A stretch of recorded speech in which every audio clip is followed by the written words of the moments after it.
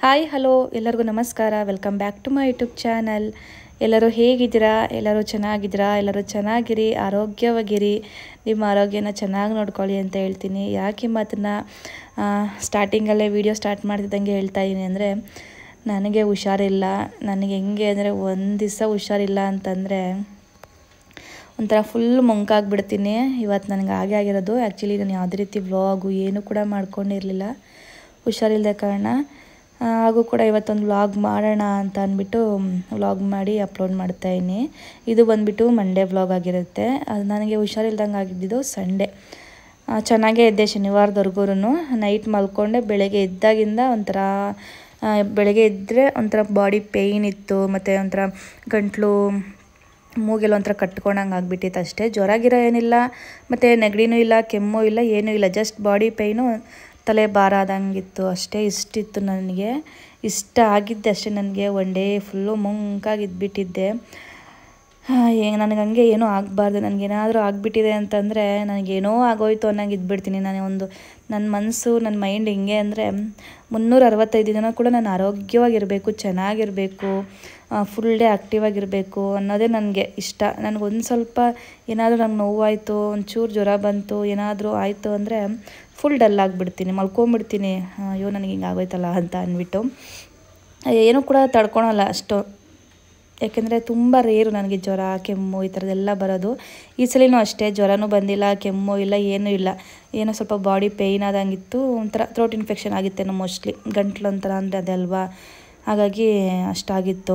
Tablet ತಂದು ಕೊಟ್ಟಿದ್ರು husband tablet ತೊಗೊತಾ ಇದ್ದೆ, ತಿಂಡಿ ತಿಂದ್ಬಿಟ್ಟು. ಹಾಗೆ ನನ್ನ ಮಕ್ಕಳಿಗೆ ಫಸ್ಟ್ ಬಂತು. ನನ್ನ ಮಕ್ಳು ನನ್ನ ಮಗಳಿಗೆ ಫಸ್ಟ್ ಬಂತು. ಅವಳಿಂದನೇ ಮೋಸ್ಟ್ಲಿ ನನಗಾಗಿ ಯಾಕೆಂದ್ರೆ ಅವಳಿಗೆ ಕೆಮ್ಮು ಸ್ಟಾರ್ಟ್ ಆಗಿತ್ತು. ಫಸ್ಟ್ ನೆಗಡಿ ಆಯಿತು, ಮತ್ತು ಕೆಮ್ಮು ಸ್ಟಾರ್ಟ್ ಆಯಿತು.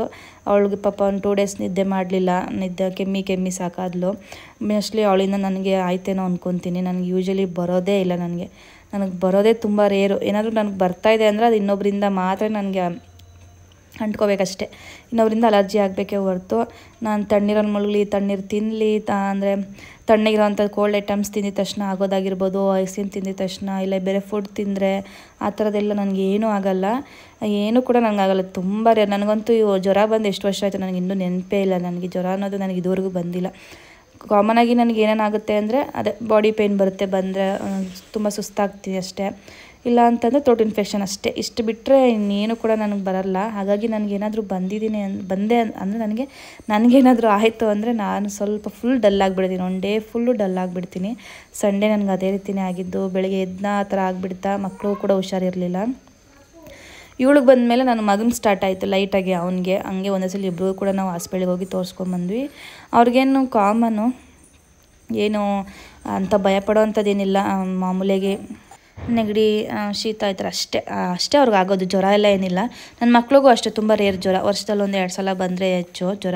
ಬಟ್ ನೆಗಡಿ ತುಂಬ ಬರ್ತಾ ಇರುತ್ತೆ. ಕಾಮನ್ ಅಲ್ವಾ? ಇನ್ನು ಎಂಟು ವರ್ಷದ ಒಳಗಡೆ ಇರೋ ಮಕ್ಕಳಿಗೆ ಇದು ಕಾಮನ್ ಡಾಕ್ಟ್ರು ಹೇಳ್ಬಿಟ್ಟಿದ್ದಾರೆ. ನೀವು ಹೊರಗಡೆ ಹೋಗಲಿ, ಹೋಗದೇ ಇರಲಿ. ನೀವು ಎಷ್ಟೇ ಫುಡ್ಸ್ ಚೆನ್ನಾಗಿರೋ ಫುಡ್ಸ್ ಕೊಟ್ಟರು ಮನೇಲೇ ಇಟ್ಕೊಂಡ್ರು ಕೂಡ ಮಕ್ಕಳಿಗೆ ವರ್ಷದಲ್ಲಿ ಆರಿಂದ ಏಳು ಸಲ ಅವ್ರಿಗೆ ಅಲರ್ಜಿ ಆಗೋದು ಕಾಮನ್ನು ಅದಕ್ಕೇನು ವರಿ ಮಾಡ್ಕೋಬೇಡಿ.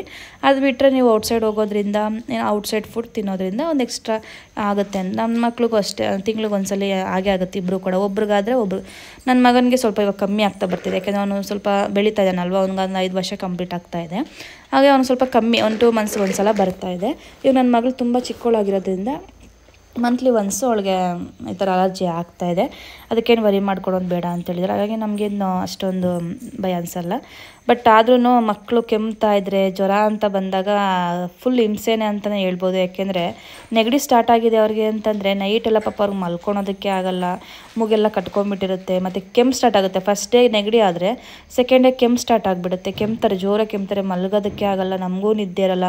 ನನಗೆ ಹಾಗೆ ಆಗೋದು. ಮಂತ್ಲಿ ಒನ್ಸ್ ನನಗೆ ನನ್ನ ಮಕ್ಕಳು ಇಷ್ಟಲ್ಲ ಹಾಗೆ ಆಗೋದು. ನನ್ನ ಮಗನ್ನ ನನ್ನ ಯಜಮಾನ್ರು ನೋಡ್ಕೊತಾರೆ ನೈಟ್ ಟೈಮು ಏನು ಅವ್ನು ನನ್ನ ಹತ್ರ ಇರಲ್ಲ, ಅವ್ರ ಅಪ್ಪನೇ ಬೇಕು. ನನ್ನ ಮಗಳು ನನ್ನ ಮಗಳದು ಅಷ್ಟೇ. ತಿಂಗಳಲ್ಲೂ ಒಂದು ಎರಡು ಸಲ ನನಗೆ ನಿದ್ದೆ ಕೆಡಿಸ್ಬಿಡ್ತಾಳೆ.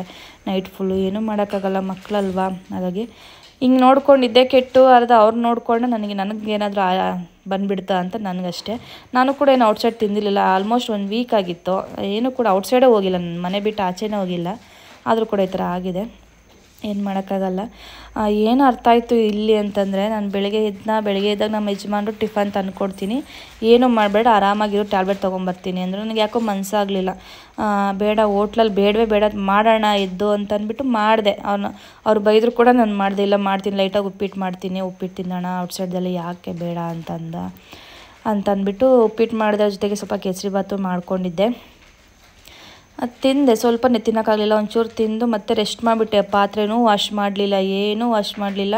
ಆರಾಮಾಗಿ ರೆಸ್ಟ್ ಮಾಡಿಬಿಟ್ಟೆ. ನಮ್ಮ ಯಜಮಾನ್ರೆಲ್ಲೋ ಸ್ವಲ್ಪ ಕೆಲಸ ಇದೆ ಅಂತ ಅಂದ್ಬಿಟ್ಟು ಅವ್ರ ಸಣ್ಣನೂ ಕೂಡ ಎಲ್ಲೋ ಹೊರಗಡೆ ಹೋಗಿ ಬಂದರು. ನನ್ನ ಮಗನೂ ಕರ್ಕೊಂಡು ಹೊರಟೋದ್ರು. ಇಬ್ಬರನ್ನ ಹ್ಯಾಂಡಲ್ ಮಾಡೋಕ್ಕಾಗಲ್ಲ, ಪಾಪ ಅವ್ಳಿಗೆ ಹುಷಾರಿಲ್ಲ ಅಂತ ಅಂದ್ಬಿಟ್ಟು ಅವನು ಕೂಡ ಕರ್ಕೊಂಡೋಗಿ ಸಂಜೆ ಫೋರ್ಗೇನೋ ಫೈವ್ಗೇನೋ ಬಂದರು ಮನೆಗೆ. ಮಧ್ಯಾಹ್ನ ಊಟನೂ ಕೂಡ ನಾನು ಮಾಡಿಲ್ಲ. ರಾತ್ರಿ ಸಾಂಬಾರು ಮಾಡಿದ್ದೆ, ಅದೇ ಬಿಸಿ ಮಾಡಿಟ್ಟಿದ್ದೆ. ಅನ್ನನೂ ಕೂಡ ಸ್ವಲ್ಪ ಇತ್ತು. ಅದನ್ನೇ ತಿಂದಿದ್ವಿ ಮಧ್ಯಾಹ್ನ. ಉಪ್ಪಿಟ್ಟಿತ್ತಲ್ಲ ಸ್ವಲ್ಪ. ನನ್ನ ಮಗಳಿಗೆ ಅದನ್ನೇ ತಿನ್ನಿಸ್ತು ಮಲ್ಕೊಂಡಿದ್ದು. ಆರಾಮಾಗಿ ಒಂದು ಫೋರ್ ಫೈವ್ ಓ ಕ್ಲಾಕ್ ನಮ್ಮ ಯಜಮಾನ್ರು ಬರೋವರೆಗೂ ಏನು ಕೆಲಸ ಮಾಡ್ದಿರ ಮಲ್ಕೊಂಡ್ಬಿಟ್ಟಿದ್ದೆ ಮನೆಯಲ್ಲಿ ಎಲ್ಲ ಕೆಲಸನೂ ಹಾಗಾಗೆ ಇತ್ತು. ಬೆಳಗ್ಗೆ ಟಿಫನ್ ಮಾಡಿರೋದು, ಕಿಚನ್ ಕ್ಲೀನ್ ಮಾಡಿರಲಿಲ್ಲ, ಪಾತ್ರೆಗಳು ವಾಶ್ ಮಾಡಿರಲಿಲ್ಲ, ಮನೆ, ಗೊತ್ತಲ್ಲ ಮಕ್ಕಳಿರೋ ಮನೆ ಅಂತೂ ಮೊದಲೇ ಹೇಗಿರುತ್ತೆ. ನಾ, ನಾವು ಇಬ್ಬರೇ ಅಂದ್ರೆ ಇದ್ದರೆ ಅಟ್ಲೀಸ್ಟ್ ನೀಟಾಗಿರುತ್ತೆ ಏನು ಒಂದು ಸಾಮಾನು ಒಂದು ಕಡೆಯಿಂದ ಇನ್ನೊಂದು ಕಡೆ ಕದಲಲ್ಲ. ಬಟ್ ಮಕ್ಕಳಿರೋ ಮನೆಯಲ್ಲಿ ಎಷ್ಟು ಗಲೀಜಾಗಿರುತ್ತಲ್ವ? ಸಂಜೆ ಅಷ್ಟರಲ್ಲಿ ಫುಲ್ ಮಂಕಾಗ್ಬಿಟ್ಟು, ಏನಿಲ್ಲ ಜಸ್ಟ್ ಬಾಡಿ ಪೈನು ತಲೆಬಾರು ಇಷ್ಟೇ ಇದ್ದಿದ್ದು. ಅಷ್ಟಕ್ಕೆ ಏನೋ ಆಗೋಯ್ತು ನಂಗೆ ಇದ್ಬಿಟ್ಟಿದ್ದೆ. ನಾನು ಹಂಗೆ, ನಾನು ಅದೇ ಬೇಜಾರು ಮಾಡ್ಕೊಂಡ್ಬಿಡ್ತೀನಿ ಅರ್ಧ. ಅಯ್ಯೋ, ನನಗೆ ಹಿಂಗಾಗೋಯ್ತೆ ಮಕ್ಕಳು ನೋಡ್ಕೊಳೋರು ಯಾರು? ಮನೆ ಕೆಲಸ ಮಾಡೋರು ಯಾರು? ಅದ್ರ ಮೇಲೆ ಟೆನ್ಷನ್ ಆಗಿಬಿಟ್ಟಿರುತ್ತೆ ನನಗೆ. ಅಯ್ಯೋ, ಮನೆ ಪಾತ್ರೆ ಅಲ್ಲೇ ಬಿದ್ದಿದ್ದಾವೆ ಕಿಚನ್ ಕ್ಲೀನ್ ಮಾಡಲಿಲ್ಲ, ಇವತ್ತು ಅಡುಗೆ ಮಾಡಲಿಲ್ಲ. ಇಷ್ಟೇ ಆಗಿಬಿಡುತ್ತೆ. ಒಟ್ನಲ್ಲಿ ಮನೇಲಿ ಯಾರಾದರೂ ಒಬ್ಬರು ಇರಲೇಬೇಕು. ನನಗಂತೂ ಕಷ್ಟ ಆಗಿಬಿಡುತ್ತೆ. ನನ್ನ ಮಗಳು ನೋಡ್ಕೊಳೋದಕ್ಕೂ ಕೂಡ ನನಗೆ ಕಷ್ಟ ಆಗೋಯ್ತು. ಮಲ್ಕೊಳೋದಕ್ಕೂ ಆಗ್ತಿಲ್ಲ. ಅವಳು ಸ್ವಲ್ಪ ಮಲ್ಕೊಂಡ್ಳು, ಎದ್ಲು, ನನಗೂ ಕೂಡ ನೀಟಾಗಿ ನಿದ್ದೆ ಮಾಡೋಕ್ಕೆ ಬಿಡಲಿಲ್ಲ. ಅವಳು ನೋಡಿಕೊಂಡೆ ಇಡಿ ದಿನ ಕಳೆದಿದ್ದೀನಿ ಅಂತ ಹೇಳ್ಬೋದು. ಒಟ್ನಲ್ಲಿ ಒಂದು ಮನೆ ಹೆಣ್ಮಗು ಮನೆಯಲ್ಲಿ ಹುಷಾರಿಲ್ಲದ ಒಂದು ದಿನ ಮಲ್ಕೊಂಡ್ರೆ ಆ ಮನೆಗೆ ಯಾವ ಗತಿ ಆಗುತ್ತೆ ಅಂದರೆ ಆ ಗತಿ ಆಗುತ್ತೆ. ಹೇಳೋಕ್ಕಾಗಲ್ಲ ನಿಜವಾಗ್ಲೂ ಮನೆಯಲ್ಲಿ ಹೆಂಗಸರು ದಿನ ಪೂರ್ತಿ ಆ್ಯಕ್ಟಿವ್ ಆಗಿ ಇಪ್ಪತ್ನಾಲ್ಕು ಗಂಟೆ ಕೆಲಸ ಮಾಡ್ಕೊಂಡಿದ್ರೇ ಚೆಂದ. ನಿಜ ಮಲ್ಕೋಬಾರ್ದು. ಮಲ್ಕೊಂಡ್ರಂತೂ ಮನೆ ಯಾವ ಗತಿ ಆಗುತ್ತೋ. ಮತ್ತು ನೈಟು ಊಟ ಮಾಡಲಿಲ್ಲ ನಮ್ಮ ಯಜಮಾನ್ರು. ನನ್ನನ್ನು ಬೈದು ನಾನು ತೊಗೊಂಬರ್ತೀನಿ. ಆರಾಮಾಗಿ ರೆಸ್ಟ್ ಮಾಡು ಅಂತ ಅಂದ್ಬಿಟ್ಟು ಹೋಟ್ಲಿಂದ ತೊಗೊಬಂದ್ರು. ಸೆವೆನ್ಗೆಲ್ಲ ತೊಗೊಬಂದ್ಬಿಟ್ರು.